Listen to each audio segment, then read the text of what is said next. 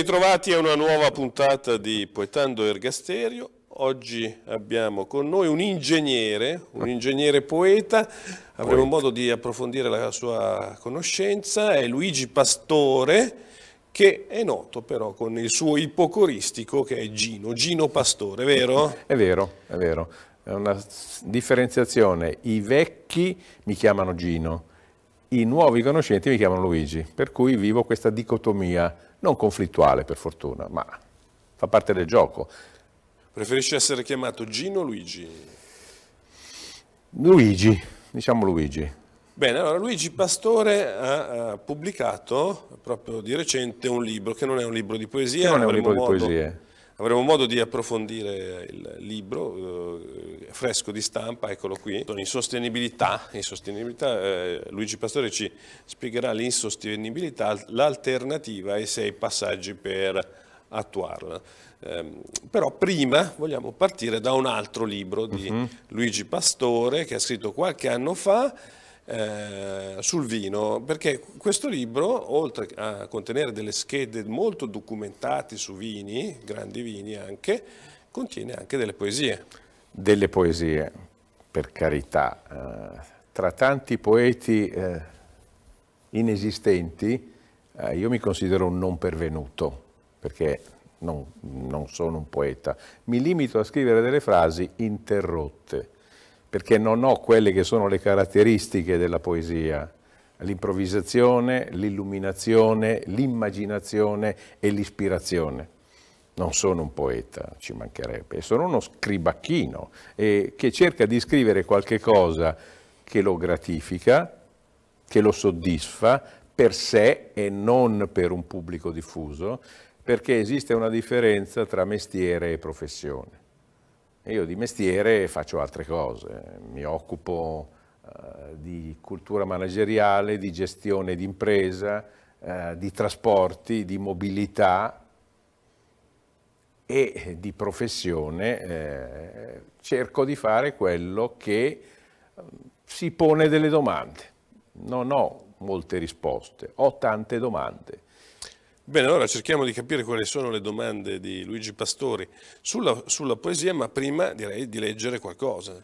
Eh, Improvvisando, prima citava l'improvvisazione, improvvisiamo ne, nella lettura di qualche poesia. Eh, confesso, non ho mai letto una mia serie di frasi interrotte in pubblico. È la prima volta, c'è sempre una prima volta. Vedo che è attento a non usare mai il termine poesia, ma serie di frasi interrotte. Ma infatti, ribadisco, io non sono un poeta, altri sono poeti, tutti scriviamo poesie fino a 18 anni.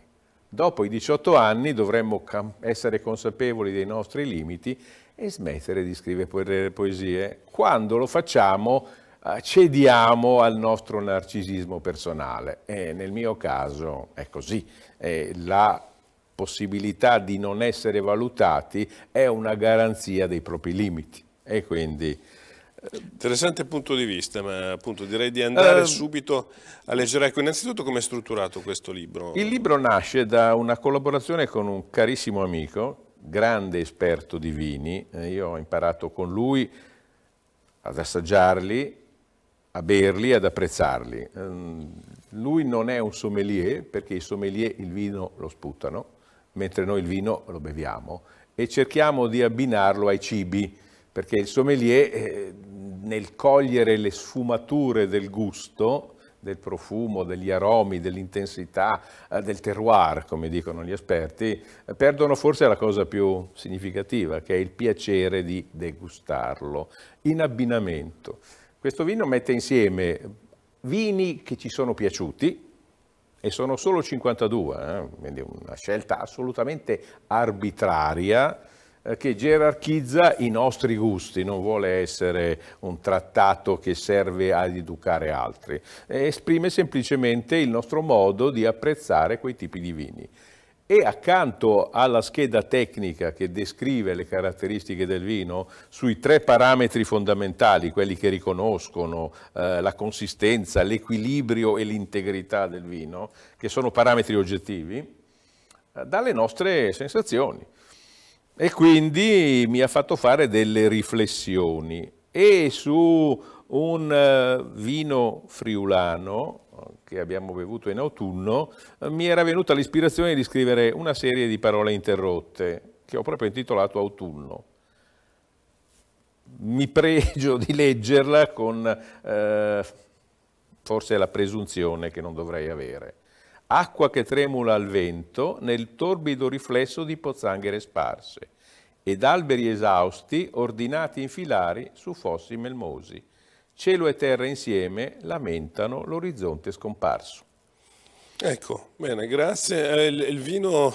Il vino era un Rock de Jury del 1998. Ah, beh, quindi oggi avrebbe 21 anni. Sì, ed era un vino eh, che ha ottenuto un punteggio che è arrivato a 98 quindi un punteggio molto elevato su, su base 100. Quindi un vino di, eh, per noi, come sempre, perché i giudizi sono sempre soggettivi, un esatto. vino di qualità. Esatto, vediamo il libro, la copertina, entusiasmo divino, entusiasmos direbbero i, i greci. Ehm, mi piacerebbe che lei leggesse questa, questo sospiro. Ah. Sospiro è su un Merlot, Ronco dei Benedettini del 99, eh, un altro vino friulano, ovviamente un rosso, in questo caso non un bianco. Inutile afflitto ricordo, con passi tonanti ti levi e ricadi senza rumore, come un amore vicino, ma stanco, che ha smarrito la forza del sogno. Sogno o sonno? Mm. Il sonno della ragione genera i mostri, ma il sogno della ragione è cambiare il mondo.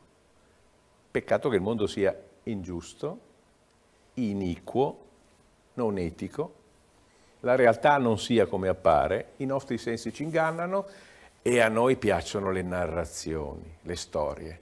Il bello delle poesie è che sono storie che fruiamo velocemente e hanno il paradosso dell'assurdo, perché più le cose sono assurde e paradossali, più le narrazioni sono avvincenti, più le amiamo e diamo loro affidamento. Molto interessante, insomma sarebbe, mm, sarebbe bello poter eh, condividere queste riflessioni magari con una bottiglia di vino che però oggi non abbiamo, magari per eh, qualche prossima puntata. Ma la, la, reinviteremo e ci occuperemo di, di, di portare anche del vino. Ehm, passeremo dalla parte teorica alla pratica, magari abbinando al vino anche una portata che sia eh, assolutamente coerente con la valutazione che daremo del vino. Bene, eh, la prego di leggere un altro componimento, altre frasi spezzate come, sì, lei, sì. Eh, per eh, diciamo, approfondire un po' la poetica di Luigi Pastore. Poetica è una parola grossa, eh, ripeto, eh, cercando di fare eh, di mestiere colui che si pone domande, sono più portato a scrivere con continuità che non con interruzioni. Eh, non ho scritto molte cose di quel tipo, proprio perché consapevole di tutti i miei limiti e non faccio molta fatica. Ecco, per esempio, eh, questa è eh, riferita al nostro territorio. Si intitola In Subrica, Scorre e scivola, rumorosa e irruenta, da pendii scoscesi e da balze armoniose, per andare ad annegare silenziosa e pacata nel torbido languore dei, dei fondali melmosi. Leviga il macigno e intriga il salmerino, tra schizzi e rimbalzi, per riflettersi placida nel cielo di ghiaccio all'ombra del masso imponente. Poesia che fra l'altro io avevo sentito dire da lei in un convegno sull'acqua a Villa Recalcati qualche anno fa, qualche nel 2003. nel 2003, quindi insomma è bello ritrovarla in questo libro. A, a, questa era abbinata che tipo di vino? Vediamo perché non me lo ricordo, perché la memoria come sempre... Ah, eccolo qui. Era uno Shiraz, anche questo un vino rosso, un vino australiano addirittura, con una valutazione anche elevata, 93 su 100, e una gradazione anche elevata, 14 gradi e mezzo. Un vino di mh, mm, notevole equilibrio, e soprattutto di grande consistenza, con dei tannini importanti. Molto interessante questo libro perché ci permette di conoscere grandi vini con uh, le poesie, le frasi, le frasi interrotte. Le frasi interrotte. Non arroghiamoci titoli che non meritiamo. Le frasi interrotte di Luigi Pastore e anche della prosa, perché ci sono anche dei, sì, dei, dei brevissimi racconti, dei flash che danno eh, gli umori del momento, perché sono sensazioni, eh, emozioni che pesano tantissimo, perché noi pensiamo di fare scelte con razionalità, egos, logos e pathos, testa, cuore e pancia. Testa ne mettiamo pochissima, cuore un po' di più, ma è soprattutto pancia. Sono le passioni che ci travolgono e dovremmo imparare ad educarle per trasformarle in sentimenti di accettazione. Bene, parole su cui riflettere. Passiamo dalla poesia, quindi dal libro Entusiasmo divino, uh-huh. a questo saggio, l'ultimo saggio di Luigi Pastore, se, se, ce ne può parlare, riassumerlo brevemente. Sì, eh, la presentazione è, è sostanziale. Eh, il mondo è ostaggio di un'economia finanziarizzata che prendendo le mosse dalla rivoluzione neoliberista che è stata incarnata da due figure simbolo, Reagan da una parte e la Thatcher dall'altra, ha cambiato il mondo, facendo tornare il pendolo della storia nel rapporto capitale e lavoro, dal lavoro al capitale. Mentre dall'inizio del secolo scorso fino alla metà degli anni 70 eh, il pendolo si era mosso nella direzione del lavoro e c'erano state le grandi conquiste dei diritti civili, del salario garantito, dell'orario di lavoro ridotto, della produttività che cresceva e questi benefici erano andati a vantaggio del lavoro, a partire dalla metà degli anni 70 il capitale incomincia a riprendersi, anche perché il mondo del collettivo, l'idea eh, marxiana della società, non è stata capace di rinnovarsi. E di fronte ai fallimenti dal punto di vista di efficienza economica, non ha avuto risposte alternative, cosa che invece ha saputo fare brillantemente il liberismo. Il mercato ha saputo innovarsi, ha saputo rispondere in maniera adeguata alle sfide della modernità. Ecco il neoliberismo, ecco l'imprenditore di se stessi, ecco il mercato che si autoregola, ecco la competitività esasperata.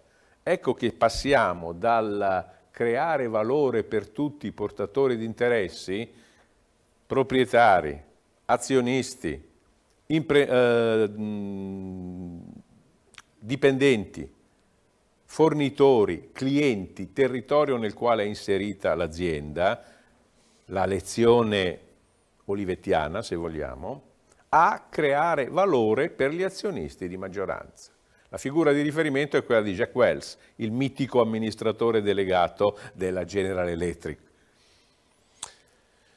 Il mondo è cambiato, il capitale si è impossessato del mercato, il mercato è diventato finanziario, le delocalizzazioni sono arrivate, la globalizzazione ha aperto la strada a liberalizzazioni e privatizzazioni, i beni collettivi sono stati dimenticati, le disuguaglianze sono cresciute, la povertà si è diffusa nel mondo occidentale.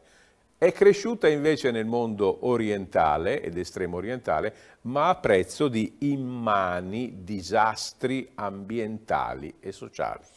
Esatto. E oggi non possiamo più sostenere questa situazione che brucia risorse non rinnovabili a ritmi non tollerabili.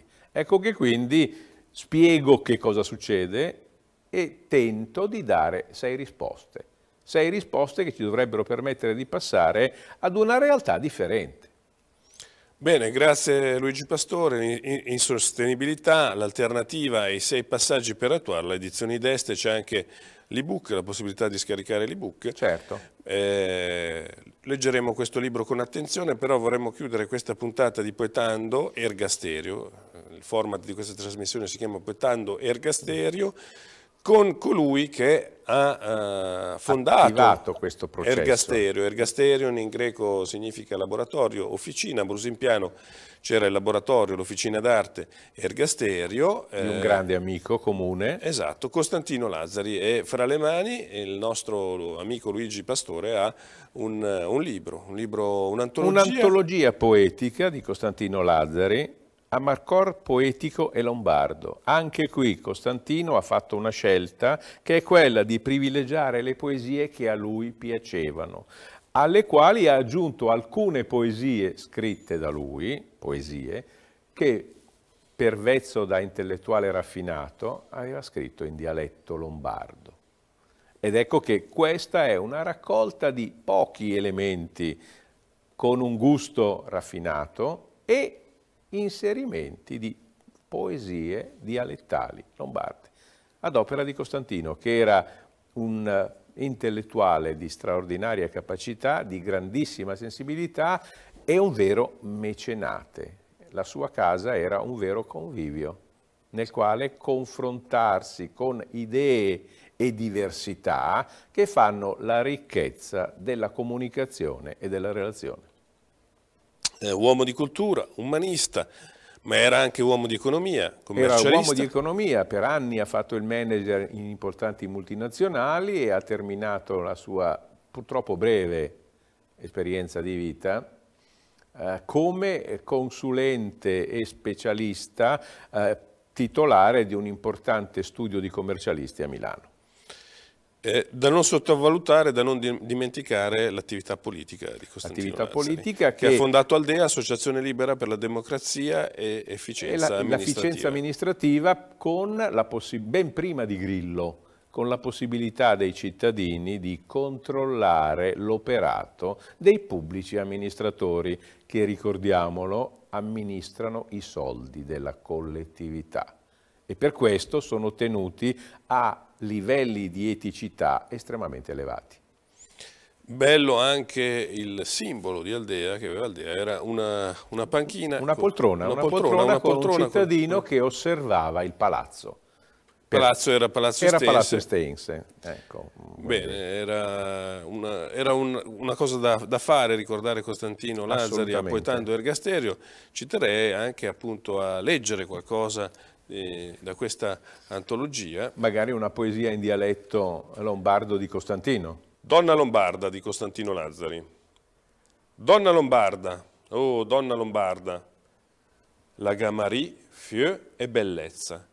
Ioc se guarden, i man se stringen. Te se domanded l'amor, che cos'è lei? Donna bella, oh donna bella, te veni incontra la parna regina, la testa alta, il lavor sorriden, la sede slengua già sotto i vestiti. Donna calda, oh donna calda, i soan gioven in minga stai to, la gamba lunga, la carna fine, la gatantacqua e temera de set. Donna lontana, oh donna lontana, e il so le un mon con ti cansei serat la bocca la trema, la faccia la sbianca, tite se perdet, te trovet più e sente. Donna sognata, oh donna sognata, la parla luna e il noster lenzù, e il ven che bofa e il so che pica, veni te vegnet e vorres morire. Molto bella, eh, donna lombarda o donna lombarda, lei ha marito, figli e bellezza, gli occhi si guardano, le mani si stringono e ti domandi l'amore che cos'è. Donna bella, oh donna bella, ti viene incontro, pare una regina, la testa alta, labbra sorridono, sotto le, sotto le vesti si scioglie di già. Donna calda, oh donna calda, i suoi giovinanni non furono i tuoi, la gamba lunga, la carne fina, pur con tant'acqua di sete si muore. Donna lontana, oh donna lontana, chiusi i cancelli del suo mondo son, la bocca trema, la faccia sbianca, tu sei perduto, non sai via trovar. Donna sognata, oh donna sognata, sembra la luna è il nostro lenzuolo. Lì soffia il vento, il sole ci batte, io vengo, tu vieni, morire vorrei. Bene, abbiamo letto anche questa poesia di Costantino Lazzari, non c'è, non, non c'è nulla da commentare perché effettivamente... È esaustiva di suo. Grazie a Luigi Pastore Grazie a te. per questa chiacchierata e lo rinviteremo con, quando potremo magari degustare un vino con lui e leggere Volentieri. qualche altro, altra sua poesia, anzi qualche altra Parola interrotta. parola interrotta. Grazie e alla prossima puntata di Poetando Ergasterio.